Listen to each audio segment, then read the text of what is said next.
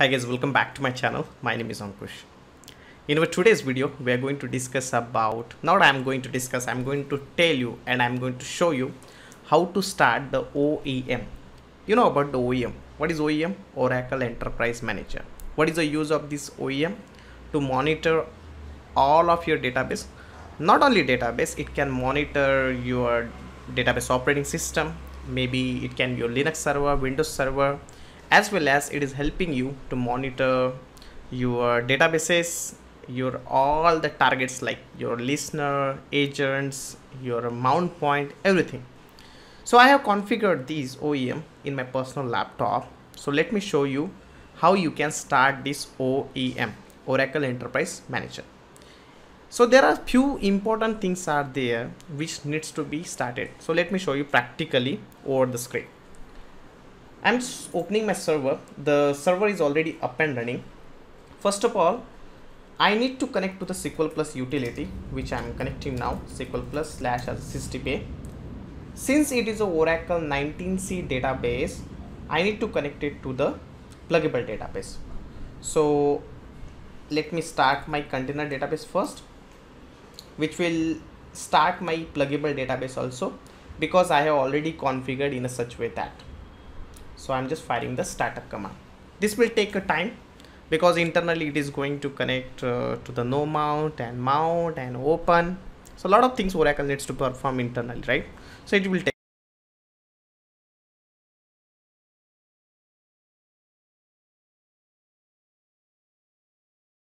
I just started the repository database. Let me show you the, my repository database, show PDBs, which will show you all the pluggable database here and this is PDB OEM this is my repository database which will hold all the information about the pluggable database and all other databases in our OEM so this is my repository database which I need to start it. And I have already started that. Once I start my container database it started my pluggable database also. This is my repository database. So first work is done. Now the second work is we need to start the listener also. So let me start the listener lsnr ctl start. Let me start the listener. It will take some time to start the listener. Meanwhile let me tell you some of the things. See if you want to start the OEM the first thing is you need to start the repository database and then you need to start the listener. Because internally it will try your OEM will try to connect to this repository database with the services. So this service should be up and running right? So i just started my listener.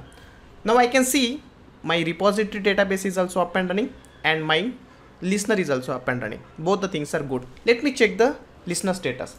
So i'm just firing the command like lsnrctl and status.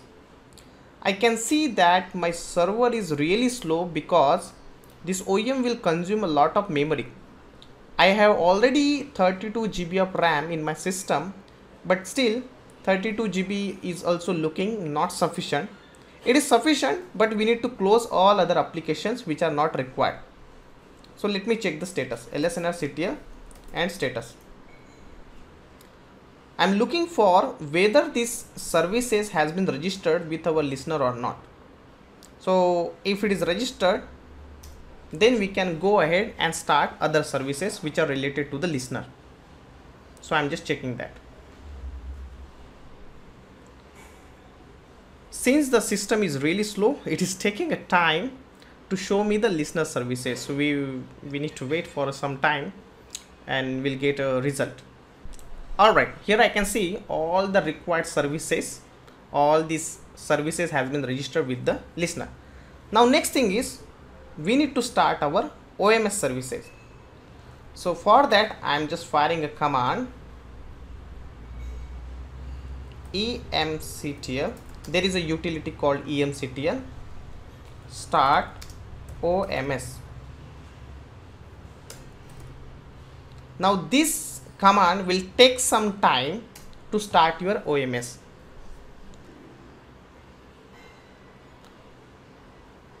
I may get error message like emctl not found because first of all I need to go to the OMS home.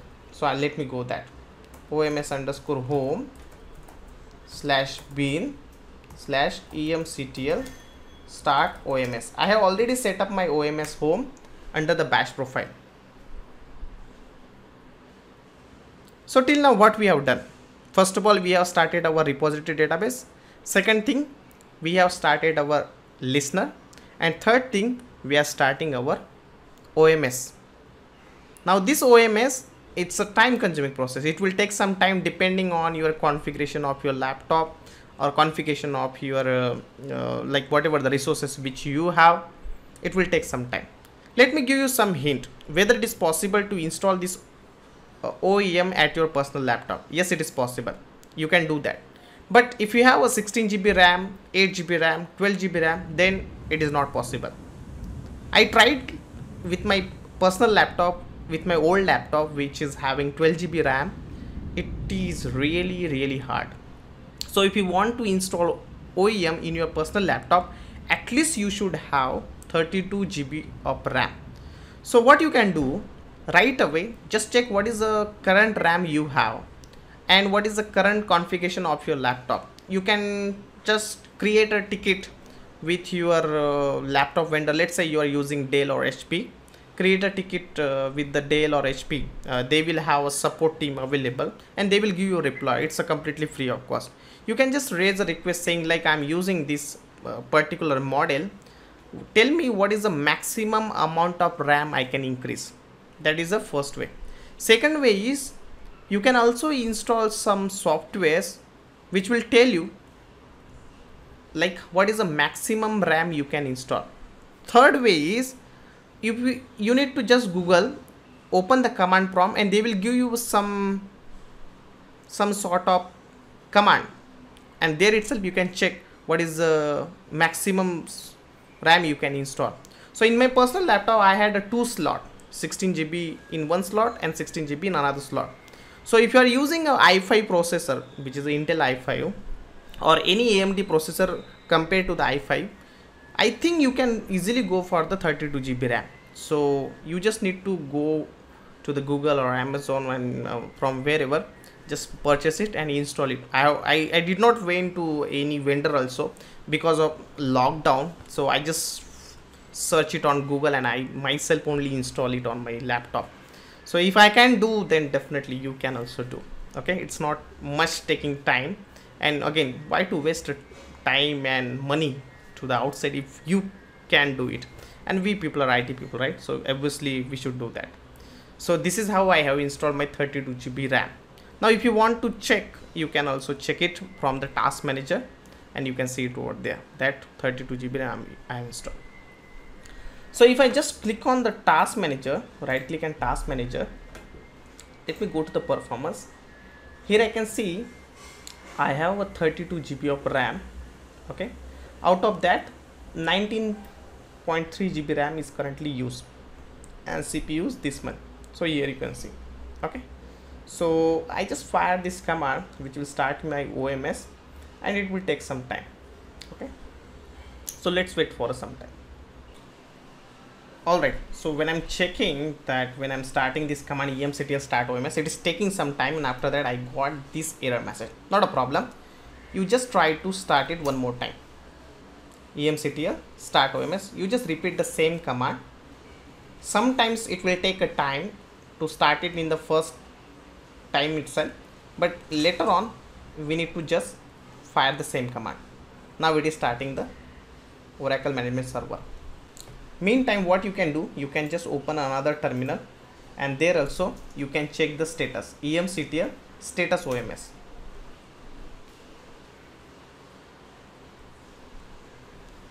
what we can see here the management server is still down. So this is the service that we are currently looking for. This should be up but right now it is down. So let us wait for some time and it will be up and running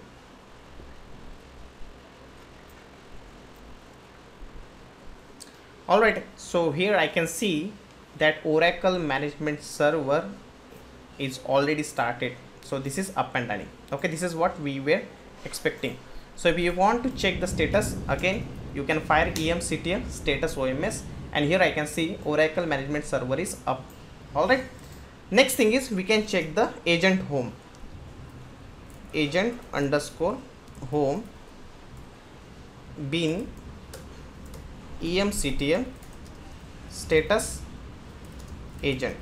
I'm just checking the status of my agent because i want to uh, monitor to this repository database also so i can see my agent is up and running. That's not a problem okay? Everything is up and running so we can just look to our OEM now. So let's copy this path.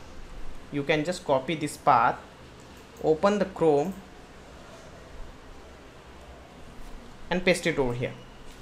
And then press em slash and that's it. Or since you are copying since you are accessing it outside the server not from your VM what you can just type the IP address 192.168.0. Uh, let me check the IP address of my machine. IF CONFIG so over here I can see the IP address is 102 let me call that. And let's call this. We need to log in with the sysman. Enter the password of sysman oracle 1234 and that's it. So this sysman user is already available in my repository database and the password I which I have already mentioned there. So I just use sysman and the sysman password and press the login button. And it will start my OEM so once it gets started you can see the OEM looks like this. And this is the monitoring tool that you will use in your real-time production environment. If I click on the summary here you can see the lot of details like how many databases are registered and how many databases are up and running. All these details you can see it over here. So I hope you have understood how you can start the OEM and I will give you more details about OEM and the other services. So what we understood how to start the OEM first of all you need to start the repository database. Second thing you need to start the listener.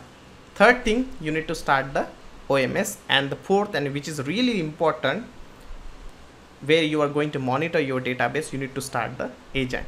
So these are the four things are there which you need to start in order to start the OEM in later lectures I'll discuss about more about the OEM so if you like this video please do like subscribe and share this channel. And if you are looking for real-time database training definitely you can contact me. Bye bye see you again with the next video. Bye